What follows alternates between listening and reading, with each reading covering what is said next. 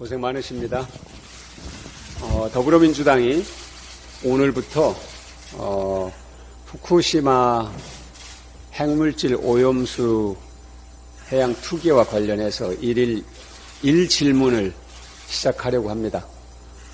어, 국민들께서 궁금해하시고 또 걱정하시는 그런 문제들을 최대한 저희들이 책임 있게 진정성 있게 어, 국민들께 설명을 드리고자 이런 자리를 마련했습니다. 어, 물론 국민의 생명과 건강을 지키는 것 이상으로 어, 정부와 국가가 해야 될 중요한 일이 또 많이 있죠. 물론 그렇지만 지금 상황에서는 이 일만큼 중요한 일이 어디 있겠는가 하는 게 국민들의 생각입니다. 거의 대부분의 국민, 85%죠. 어, 여론조사를 보면 85%가량이 어, 핵물질 오염수를 바다에 버리는 것에 반대하고 있습니다. 그것에 대해서 우리 정부가 지난주부터 어, 일일 일 브리핑을 통해서 어, 국민의 걱정을 해소하기 위한 그런 노력을 하고 있는데 국민의 걱정을 해소하기보다는 오히려 방류를 해양 투기를 아주 정당화하는 그런 방향으로 어, 설명을 하고 있어서 과연 한국 정부의 자세가 맞냐 하는 그런 비판들 또한 매우 거셉니다.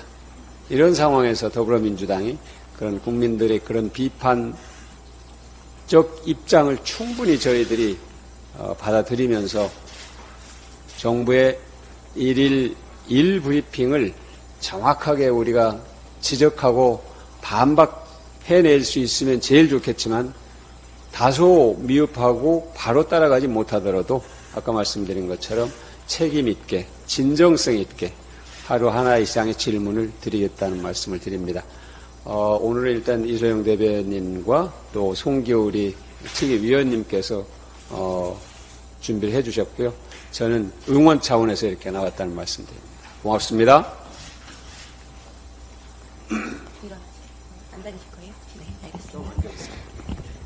네, 안녕하세요. 후쿠시마 오염수 원내대책단의 이소영 원내대변인입니다. 오늘은 우리 원내대책단의 부단장이자 국제통상법 전문가인 송기호 변호사께서 함께 자리하셨습니다. 참고로 송기호 변호사는 현재 산업통상자원부의 민간통상교섭 자문위원을 맡고 있기도 합니다. 저희가 오늘부터 매일 1일 1질문 브리핑을 하겠다고 말씀드렸는데 오늘이 그 첫 일정입니다. 지금 이 브리핑은 더불어민주당 유튜브 채널 델리민주에서도 생중계되고 있음을 알려드립니다. 말씀드린 것처럼 정부가 1일 브리핑을 시작했기 때문에 국민적 의구심을 정부와 함께 하나씩 해소해 나가기 위해서 저희가 그 질문을 대신해서 던지는 취지입니다.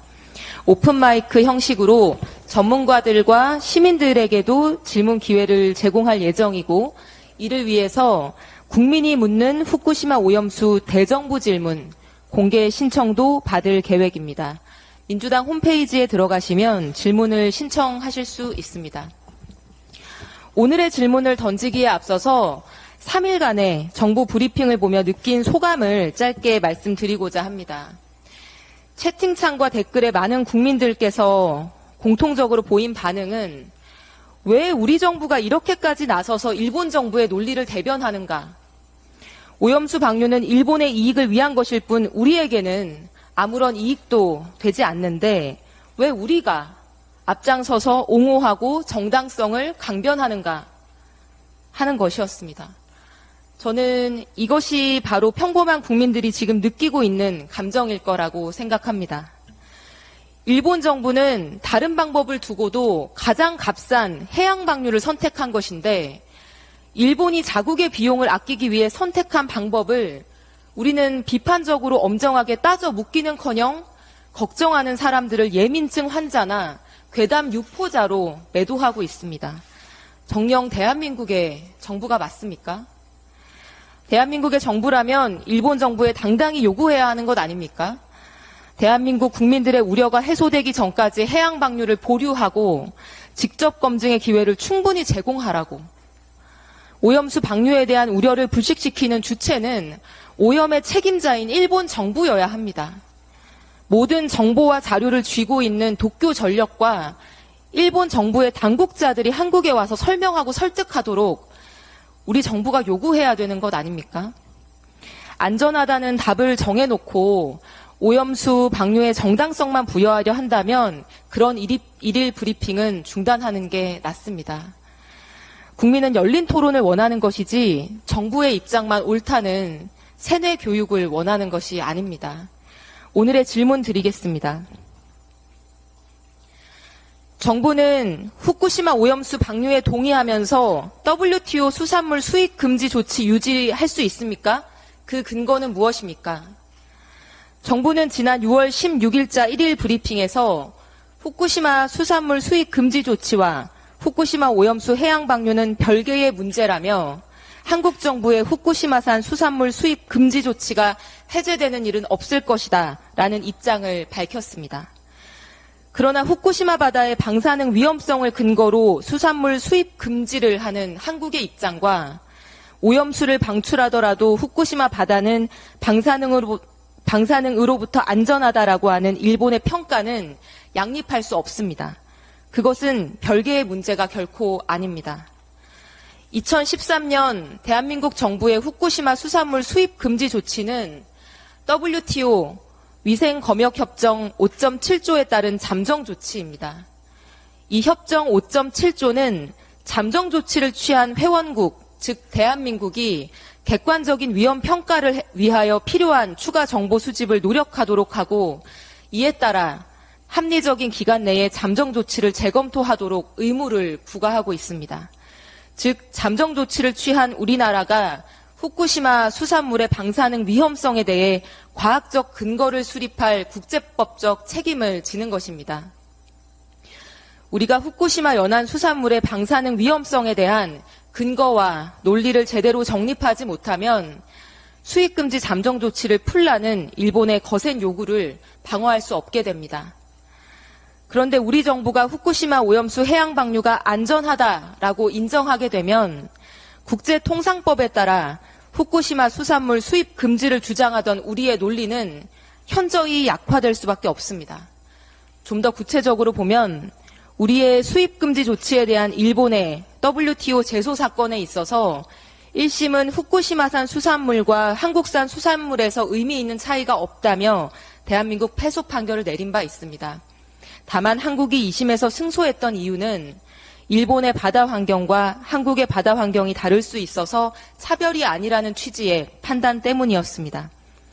그런데 현재 일본의 오염수 방출 방사선 영향평가 보고서는 그동안 일본이 2011년 원전 사고 이후 진행한 일본 바다 모니터 자료를 토대로 오염수 방출 시뮬레이션을 하고 있습니다. IAEA도 일본의 해양 모니터 자료가 적정하다라고 평가를 했습니다.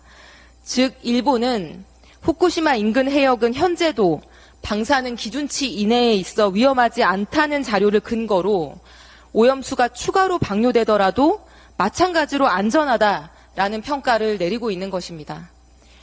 일본 측의 방사선 환경 영향 평가는 현재 후쿠시마 인근 해역이 방사능으로부터 안전하다고 보고 이에 기초하여 오염수 추가 방출의 안전성을 평가하는 상황입니다.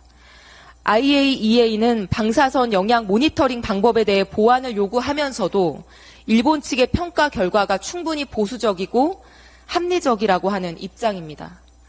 한국이 이런 일본과 IAEA가 내린 평가 결론에 동의한다는 것은 후쿠시마 바다가 안전할 것이라는 데에 공식적으로 동의하는 것이 됩니다.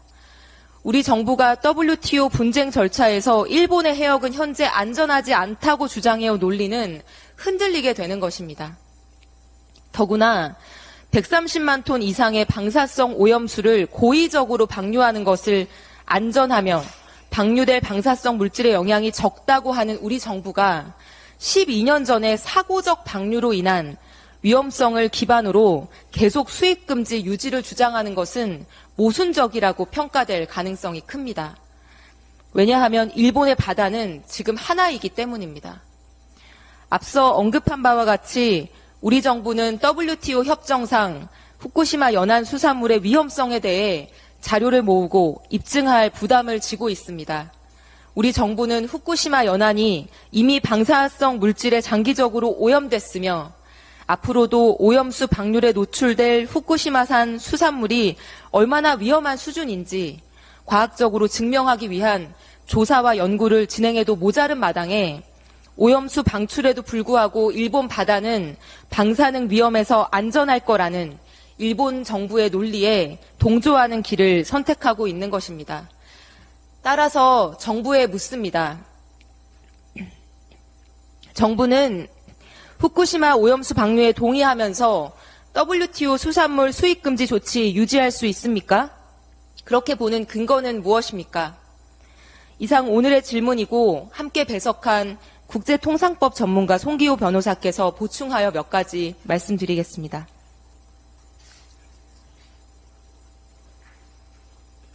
예, 안녕하세요. 송기호 변호사입니다. 아, 산업통상자원부의 아, 통상교섭 민간 자문위원을 맡고 있습니다. 오늘 저희들의 질문은 어, 오염수를 처리해서 버리기 때문에 일본 바다는 방사능 위험에서 안전하다는 일본의 평가와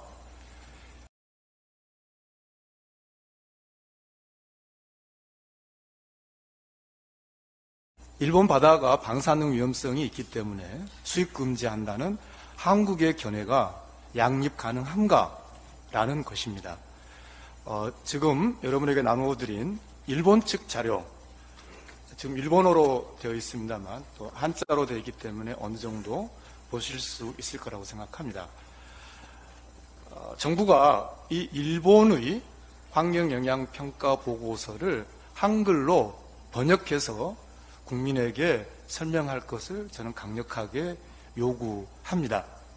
먼저 지금 여러분들께서 보고 계시는 이 첫 페이지를 한번 봐주시겠어요? 이 첫 페이지는 어, 한자를 제가 그대로 읽어드리겠습니다.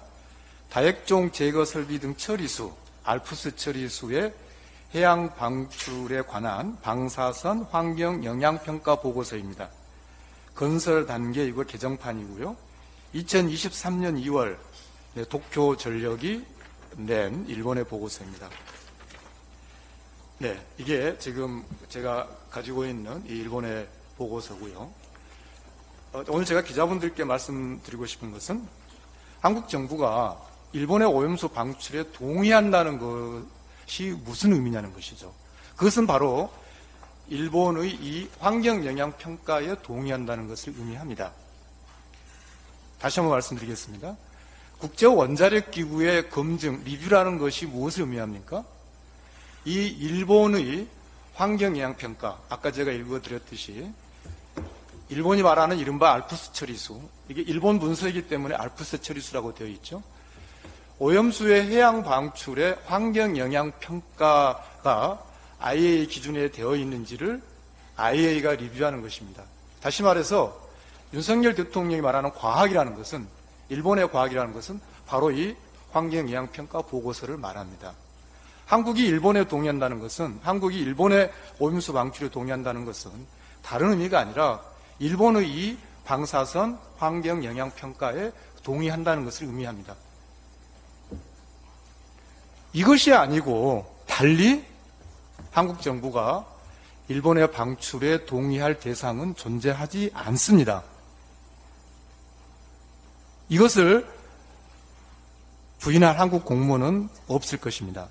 그러면 이 내용에 대해서 혹시 정부가 브리핑한 걸 여러 번 들으셨습니까?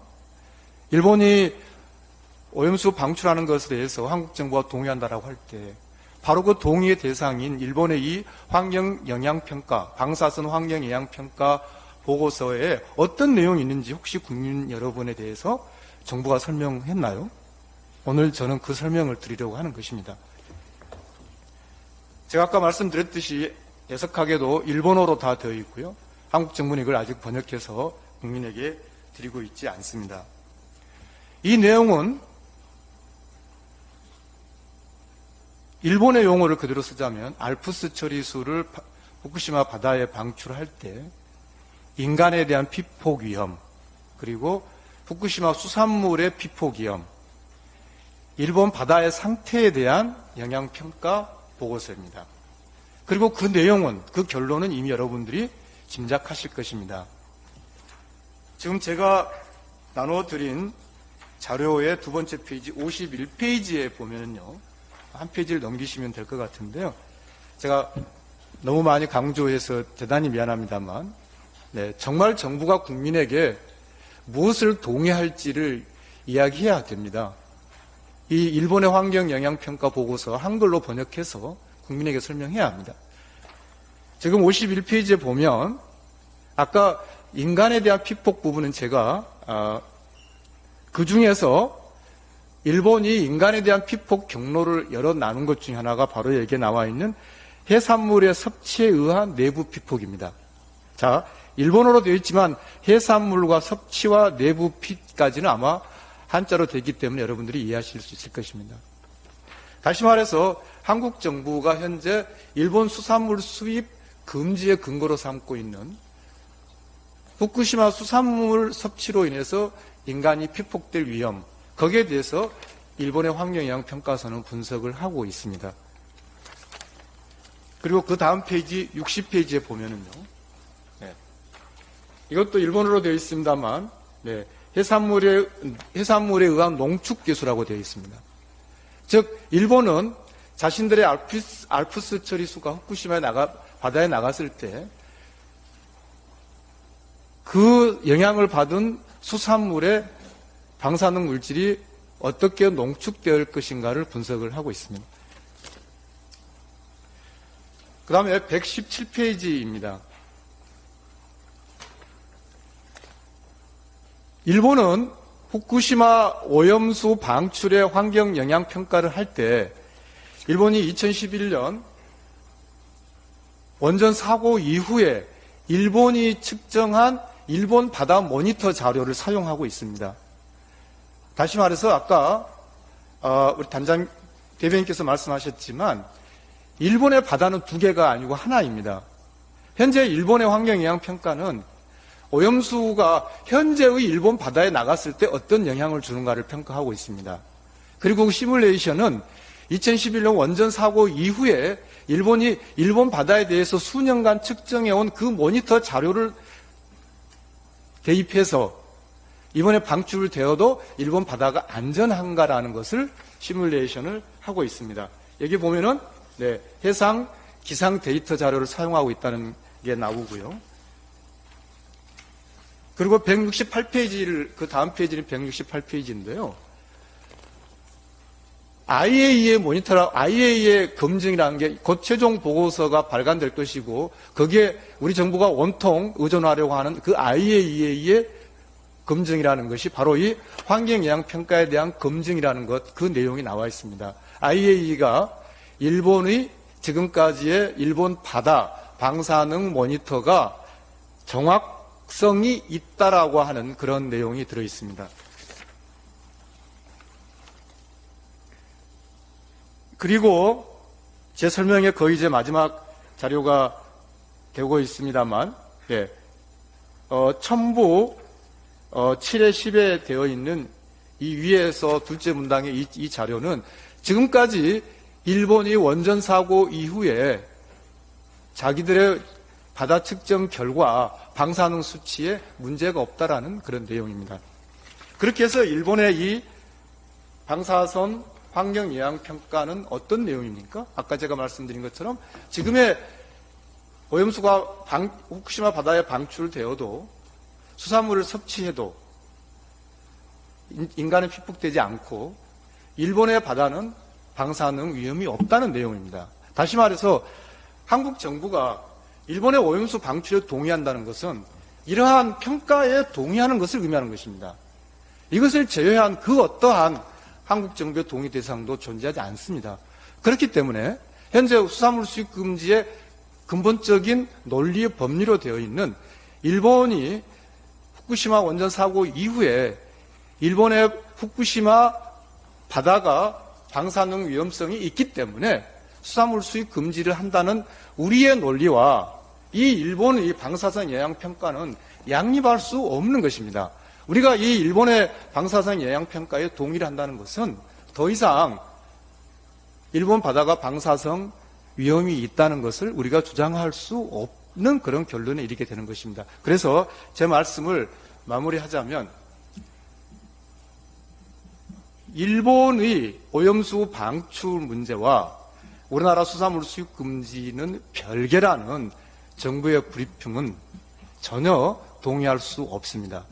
만약에 지금 상태에서 정부의 주장처럼 일본의 오염수 방출에 동의하게 되면 수산물 수입 금지의 국제법적 근거는 뚫릴 것이며 결국 일본에게 봐달라고 하는 그런 길밖에 남지 않습니다. 그러면 우리의 대안은 무엇인가?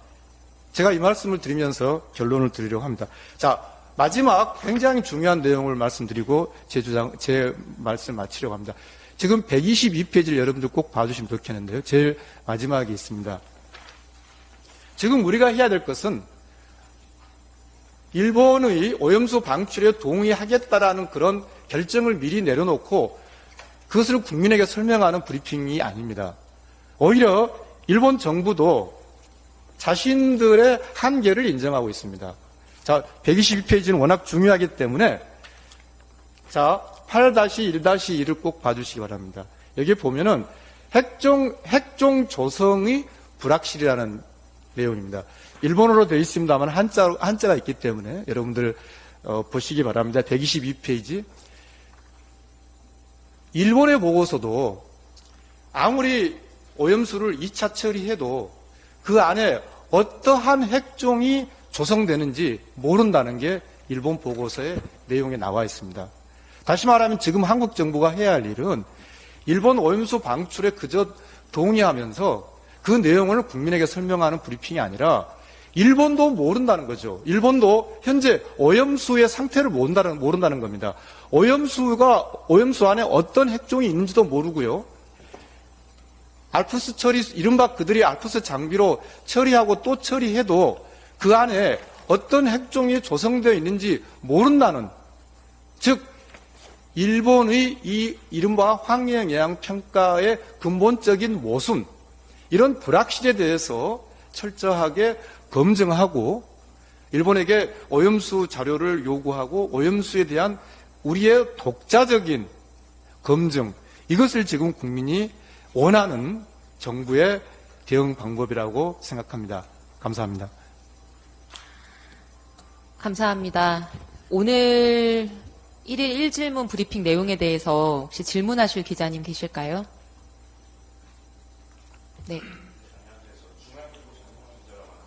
네.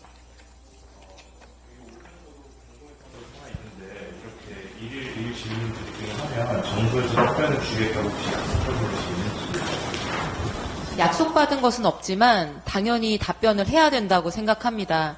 정부의 1일 브리핑을 보면 그 브리핑을 시작한 취지에 대해서 설명을 하고 있는데 국민들이 가지고 있는 의구심이 많이 있어서 그런 것들을 해소하기 위한 노력이다 이렇게 얘기하고 있습니다. 그렇다라고 한다면 야당이 하는 야당이 제기하는 어, 적절한 그리고 유효한 질문들에 대해서는 당연히 정부가 답변해 줄 것으로 기대하고 있습니다. 혹시라도 답변하지 않으시면 기자님들께서 꼭 질문해 주시기 바랍니다. 아, 마치기 전에 제가 한 말씀만 더 붙일 수 있다면요. 저는 아마 윤석열 대통령께서 일본 오염수 방출에 동의한다는 것이 무슨 내용으로 무엇에 동의하는지에 대해서 저는 제대로 보고받지 못했을 거라고 생각합니다. 왜냐하면 지금까지 정부의 그 누구도 일본의 이 방사선 영향 평가 보고에 대해서 아무도 설명한 사람이 없습니다. 지금 이건 지금 제가 가지고 있는 2023년 2월의 보고서인데요. 이거는 2022년 4월의 보고서입니다. 일본은 지금 굉장히 치밀하게 이 환경영향평가 보고서를 계속 업데이트하고 있습니다. 무엇을 근거로요? 원자력 국제 원자력 기구가 지금까지 다섯 차례 잠정 보고서를 냈지 않습니까? 그 잠정 보고서에서 지적된 내용을 계속 반영을 하는 이러한 굉장히 치밀한 내용의 보고서입니다. 따라서 저는 아까 말씀드렸듯이 오염수 방출, 일본의 오염수 방출에 동의한다는 것의 그 대상, 동의한다는 것의 의미를 어, 윤석열 대통령은 정확하게 보고받지 못했을 거라고 저는 확신합니다. 다른 질문이 없으시면 마지막으로 그 이런 이런 일일 브리핑이 시작됐다는 것을 듣고 한 시민분께서 정부에 하고 싶은 말씀을 영상으로 보내주셨습니다. 부산 가덕도 인근 해안에서 고기를 잡고 계신 어부이자 부산 강서구 신호동에서 횟집을 운영하고 계신 시민이신데요. 어, 잠깐 영상을 함께 시청하겠습니다. 과연 이 우리 수산물이 정부에서는 안전하다 하지만은 정말로 우리 그 국민들은 그, 그걸 피부에 와닿겠습니까? 그 정부에서 어떤 대 책이 없고 보안이 없고 무조건 괜찮다만 하면은 우리 국민으로서는 받아들이기가 좀 힘듭니다. 솔직히 저는 현재 저 강서구 대학운동에서 대대로 조상이 대대로 내려와가지고 지금 고기를 현재 잡고 있습니다. 제가 앞으로 생계를 위해서 현재 강서구 신호동에 어, 횟집을 차려가지고 제가 직접 바다 가서 먹으러서 고기를 잡아 와가지고 여기 와서 판매를 하고 있습니다. 그 와중에 또 일본의 그 오염 방수를 방류를 한다니까 정말 이거 앞으로 우리 생계에 문제가 너무 많이 생길 것 같- 같고 이 오염수를 뿌리게 되면 바로 우리 어민들한테는 직격탑니다. 정말로 정 어, 수산물을 소비를 거의 지금 많이 먹지 않는 편인데 이렇게 이제 오염이 오염수를 방류를 하게 되면은 정말로 안 먹습니다. 무조건 지금 방류를 해서는 안 된다는 저희 어, 어부의 조그만 마음으로 안 됩니다. 그런 소리를 하고 싶습니다. 앞으로 국가에서 어떤 대책을 지금 마련하고는 있는지는 모르겠습니다만 정말로 방류를 하게 되면은 정말로 안심하고 먹을 수 있는 일단은 국민들이 안심하고 먹을 수 있는 어떠한 그런 보안 대책이 없으면은 정말로 코로나 이상으로 더 우리가 힘들게 앞으로 살아갈 수밖에 없- 없는 입장이 지금 되어가고 있습니다. 그래서 저도 지금 현재 장사를 하고 있, 있고 고기도 잡고 어, 있는데 참 걱정입니다. 우리가 코로나는 그래도 그나마 지금 어렵게 어렵게 해가지고 이겨 나왔는데 이거는 지금 코로나의 그 이상을 배로 지금 더 직격탄을 맞게 생겼습니다. 그게 만약에 정말로 그 배수관을 통해 가지고 어 다음 달 초나 뭐 중순에 뿌리기 시작한다 그러면은 바로 타격이 바로 바로 옵니다. 이거. 매출의 시장은 분명히 있습니다. 이 저뿐이 아니라 요 우리 근래에 있는 상권 지금 어제도 10만 원 오늘도 지금 현재 이제 문은 열어놨지만 모르겠습니다. 어? 거의 한 10일 전부터 매출이 점차적으로 줄기 시작했거든요. 확연히 지금 또 피부로 지금 느끼고 있거든요. 과연 이 우리 수산물이 정부에서는 안전하다 하지만은 우리 국 정말로 우리 그 국민들은 그, 그걸 피부에 와닿겠습니까? 그 정부에서 어떤 대책이 없고 보안이 없고 무조건 괜찮다만 하면은 우리 국민으로서는 받아들이기가 좀 힘듭니다. 솔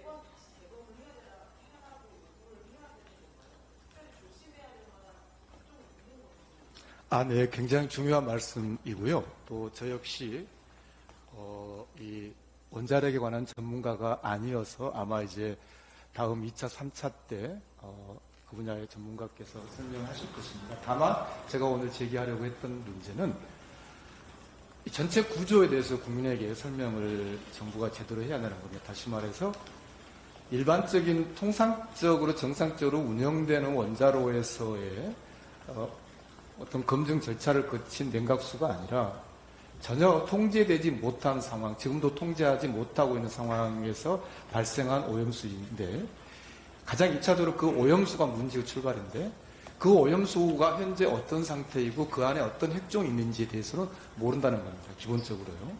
네. 그게 불확실성을 전제하고 있는 것입니다. 다시 말해서 일본의 이 환경영향평가서라는 것도요. 그런 불확실성을 스스로 전제하고 있습니다. 그러면 문제는 자 오염수 자체의 불확실성, 그 오염수 안에 어떠한 다시 말해서 어, 멜트다운이 되고 그리고 데브리가 현재 이렇게 밑에까지 들어가 있는 그 상황에서 직접 나온 오염수의 상태가 무엇인지를 요구하는 것. 그것이 저는 우리의 가장 첫 출발이야 한다고 생각합니다. 그래야 우리가 그 어떤 불확실성을 받아들일 수 있는 수준이냐. 저는 결코 일체 불확실성을 다 거부하자는 말씀은 아닙니다. 그러나 그 불확실에 대한 정확한 정보가 필요하다는 겁니다. 근데 이런 구조를 설명하지 않고 있다는 거죠. 오염수 자체에 어떤 핵종이 있고 그 중에서 어떤 부분은 심각하고 어떤 부분은 괜찮은지 오염수 자체의 핵종에 대한 정보가 요구돼야 됩니다.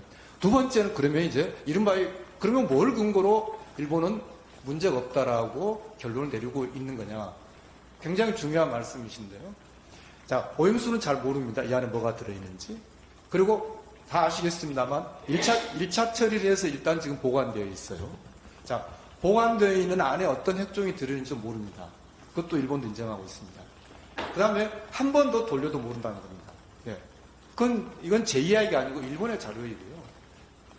이거는 저는 지극히 이 보고서에 어, 어떤 최소한의 어, 어떤 뭐라 그럴까요? 자격을 뒷받침해 주는 내용이라고 생각합니다. 불확실성이 인정된 거죠, 기본적으로요. 불확실성을 인정했다고 해서 우리가 그것을 그렇기 때문에 안 된다라고 제가 말씀드리는 건 아닙니다. 자, 오염수 자체의 핵종을 모릅니다. 한 번 돌려서 현재 보관되는 것도 모릅니다. 2차 처리에도 모릅니다. 그러면 뭘 근거로 안전하다고 평가를 내렸느냐? 64개의 핵종을 일본이 선정을 한 것이죠. 64개의 핵종을 선정해서 이 64개의 핵종이 얼마나 남아있는가 하는 것을 최종 방출 단계에서 일본은 검증을 하는 겁니다. 그리고 오로지 그 데이터, 그리고 아까 제가 말씀드린 기존의 일본 바다, 기존의 일본 수산물에 대한 그 모니터 결과를 가지고 일본이 시뮬레이션을 하고 있는 것이죠. 지금 기자님께서 굉장히 중요한 질문을 해주시는데요. 그렇다면 그 64개의 핵종으로 다 위험성이 커버되느냐 하는 질문이 또 따라야 되는 것이고요. 어, 그렇기 때문에 저는 단지 지금 어떤 이게 어, 안전하냐, 안전하지 않느냐라는 그 문제 이전에 기본적으로 이게 어떠한 상황이고 어떠한 성격의 어떠한 내용의 불확실성에 우리가 직면하고 있는지 여기에 대한 제대로 된 정보를 정부는 국민에게 줘야 한다는 것입니다. 그리고 거기에 대해서 국민이 가지고 있는 의문을 해소할 책임이 있는 것이고 따라서 제가 아까 결론적으로 말씀드렸습니다만 가장 일차적인 그 출발 오염수가 어떤 상태이고 그 안에 어떠한 핵종이 있는지에 대해서는 비록 일본이 모른다고는 하지만 그것을 밝히려고 하는 일본 나름대로 노력은 있었다고 생각합니다. 그렇다면 오염수 분석과 관련된 일본의 1차 자료를 요구해야 되고요. 우리가 역시, 우리도 역시 우리의 과학 수준으로 가능한 오염수 분석을 하는 것, 그것이 저는 필요하다고 생각을 하고요. 저는 그것을 지금 이제 임박한 이 상황에서 말씀드린 게 아니라 2021년 4월에 정부가 일본 정부가 가기 결정을 통해서 방출하겠다고 했을 때부터 저는 원안위에 오염수의 독자적인 자료를 요구해야 된다. 독자적인 자료를 요구하고 있는지 정부 공개 청구를 했습니다. 추가로 한 말씀 더 드리자면은 앞서 말씀드린 바와 같이 이러한 모호하거나 어려운 쟁점에 대해서 대한민국 국민들에게 설명해야 될 책임은 사고를 낸 오염을 일으킨 당사자인 일본 전력과 아, 도, 도쿄 전력과 일본 정부에 있는 것입니다. 우리 정부가 얼마나 자세한 내용을 알고 있습니까? 제한적인 인원이 참여한 시찰단이 며칠 외부에서 설비를 보고 왔고 일본 정부와 도쿄 전력이 제공하는 자료를 일부 가져와서 그것들을 토대로 국민들에게 설명하고 있는 상황입니다. 마찬가지로 우리 국민들도 우리 정부가 선별적으로 설명하는 것 외에는 알 수 없고 어, 그에 대한 질문을 할 기회도 없는 상황입니다. 애초에 민간 전문가 민간 전문가들까지 구성된 투명한 검증단을 구성해서 어, 이 후쿠시마 원전에 대한 검증이 이루어졌어야 하고 지금이라도 그러한 검증을 요구하면서 검증이 완료되고 의문이 해소될 때까지 방류를 연기하라라고 요구해야 하는 것이 지금 우리 정부가 해야 할 일이라고 생각합니다. 네, 오늘 브리핑은 여기에서 마치겠습니다.